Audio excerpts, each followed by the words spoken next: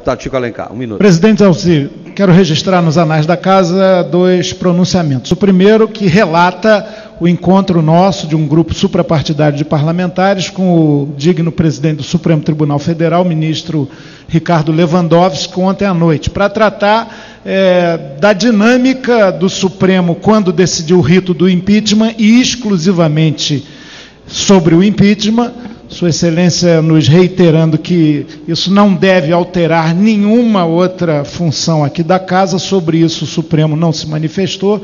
Qualquer eh, direção contrária a isso, querendo colocar o resto da Casa, o resto principal, central, que são as comissões permanentes, como reféns da decisão do Supremo, é absolutamente aviltante, é paralisar os trabalhos do Legislativo, que é muito grave de Sua Excelência. Segundo lugar, quanto não só às denúncias da Lava Jato contra o presidente da Casa, como o seu pedido de afastamento pelo, pelo procurador pública que estão lá em curso, aguardando o relator, que vai cumprir prazos, e o ministro fez questão de dizer que jamais se pronunciou quanto ao mérito disso, não o fará, mas, falando em tese, disse que quem atrapalha investigações realmente está obstruindo a justiça, e isso é gravíssimo na nossa visão, nossa, dos parlamentares que lá estavam, isso está acontecendo. Aliás, estamos apurando uma informação mais recente de mais uma arbitrariedade.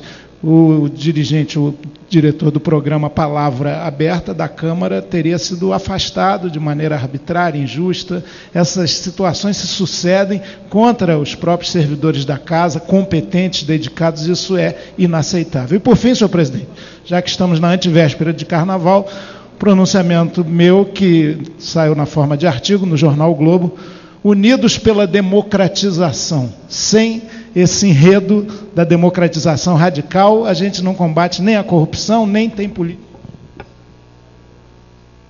políticas públicas continuadas no interesse da população. É disso que o Brasil precisa. Muito obrigado.